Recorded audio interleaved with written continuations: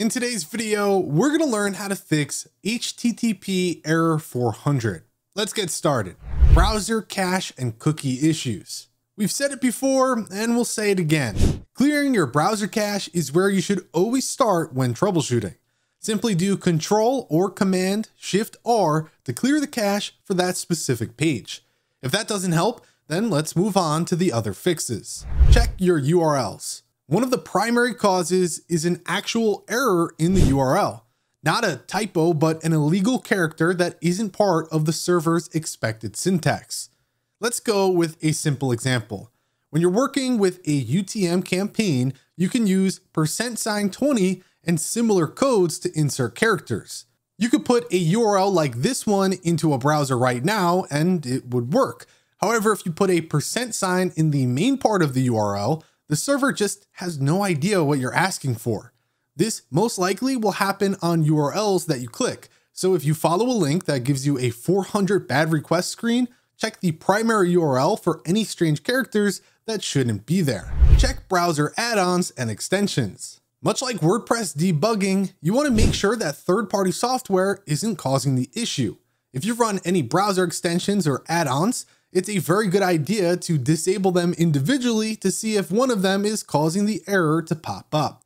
And if you can reload the page and not get a 400 error, then you know what the issue is. File size is too large. Users can come across an HTTP error when trying to upload a file.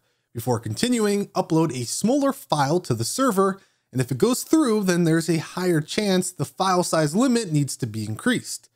In your wp-config.php file, you should find a line that looks something like this.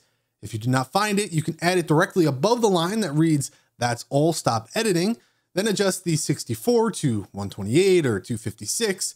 Doing so will change the maximum file upload size for your WordPress site. Flush your DNS cache. This can help in the same way that clearing your browser's cache and deleting cookies helps. Your computer is saving DNS information for sites you've been to in order to load them faster upon revisiting them.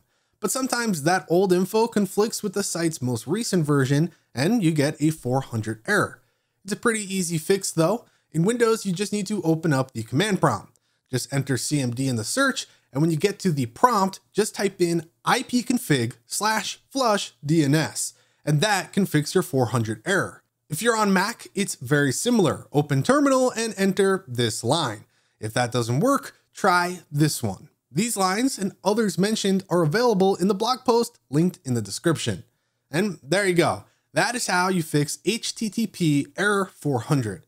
If you enjoyed this video, then be sure to give it a like and subscribe for more content. With that said, thanks for watching. We'll catch you in the next one.